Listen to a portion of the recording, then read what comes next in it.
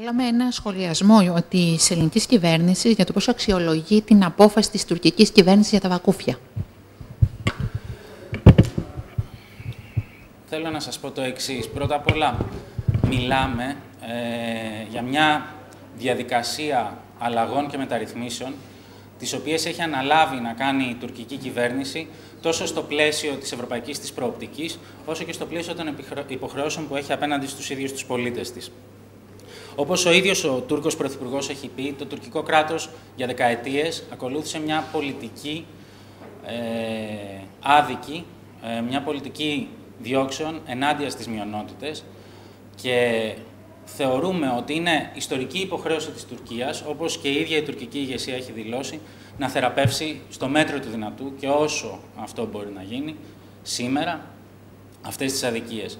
Στο πλαίσιο αυτό, ε, η ρύθμιση ε, που είδε το φως της δημοσιότητας είναι ένα θετικό βήμα.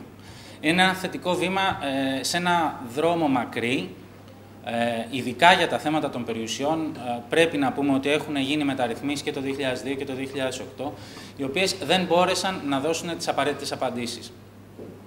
Ακόμα και σήμερα, με μια πρώτη ανάγνωση που έχει γίνει αυτής της νομοθετικής ρύθμισης, βλέπουμε ότι υπάρχουν σημαντικά κεφάλαια, όπως ε, τα κατηλημένα ιδρύματα, όπως ζητήματα κληρονομικών δικαιωμάτων ομογενών, ε, τα οποία δεν αντιμετωπίζονται και ελπίζουμε να δούμε στη συνέχεια και στο πλαίσιο αυτής της διακηρυγμένης βούλησης της τουρκικής κυβέρνησης να αντιμετωπίζονται και αυτά τα ζητήματα.